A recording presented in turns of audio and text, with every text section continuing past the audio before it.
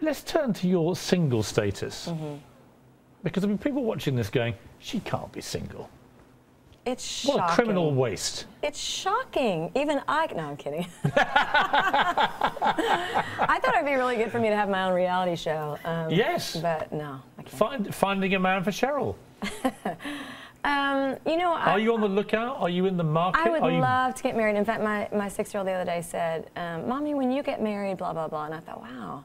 And I heard my three year old the other day say um, to one of his buddies, uh, Wyatt and I don't have a daddy. And it was so matter of, fact, Mm-hmm. matter of factual that I just, um, you know, it's stunning to me. It was not exactly the way I thought my life was going to be. You know, I'm from a family whose my parents are still married and close, and they have a good relationship. So I had a good example of what a loving relationship looked like.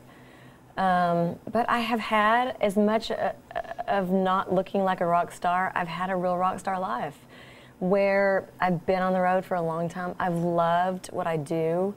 I've had some really exciting love affairs. Have you? Um, I have.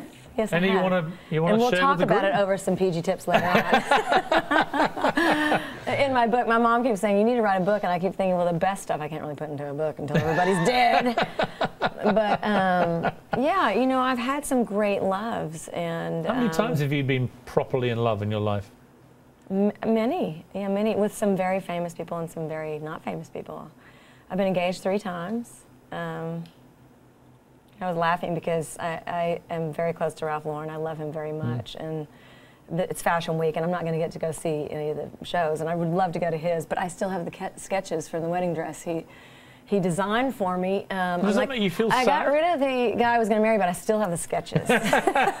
Are you always the heartless dumpy in these? Do you always the one that breaks it off? Um, you know, it's funny. Um, I've read a couple of times that Jennifer and Aniston have been, the two of us have been dumped more than Hmm. any two people, but it's not true. I mean, I don't like my private life to be for public consumption, so I, I really don't discuss what happens in my relationships so people don't get the story. They don't get, but I will tell you one thing I take great credit for some of the demises because, you know, it's difficult to date a woman who's um, strong and who runs a business and who's gone a lot.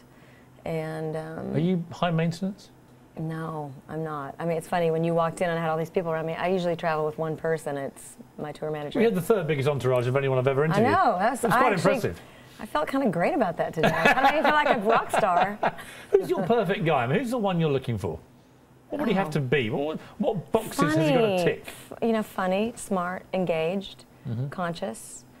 Um, I want somebody who has a vast curiosity, somebody who wants to continue to be interested and grow, and who's knowledgeable, who reads, um, who's funny. You know, Just trying to like work it out. It seems to be heading, splitting. Heading in my direction, this criteria list. You're far too young for me.